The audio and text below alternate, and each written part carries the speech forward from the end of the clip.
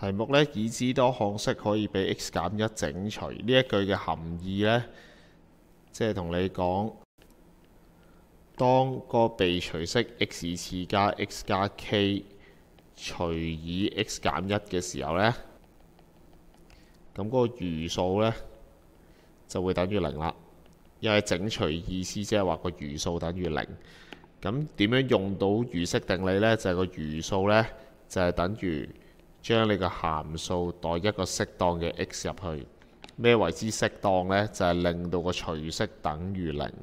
咁所以呢，我哋今次呢 x 減一嘅情況，我哋就會放 x 等於一入去。咁呢，佢話俾你聽個結果會係零嘅。咁我哋就建立到一條有 k 嘅等式，一加一加 k 呢就等於零，k 呢就等於負二。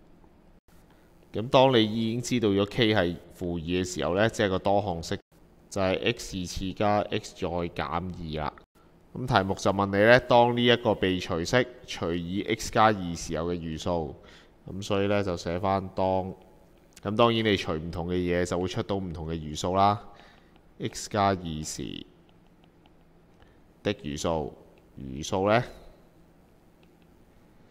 就係等於頭先講過啦。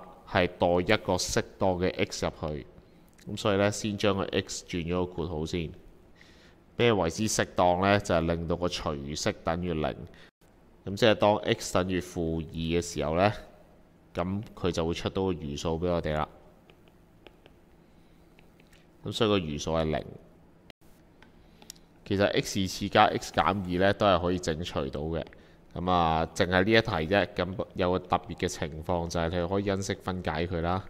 本身就係 x 加二乘以 x 減一。咁所以呢，無論你除 x 加二定係除 x 減一都好呢，都係整除到，都係冇餘數嘅。咁係講緊呢一題呢個情況比較特殊啫。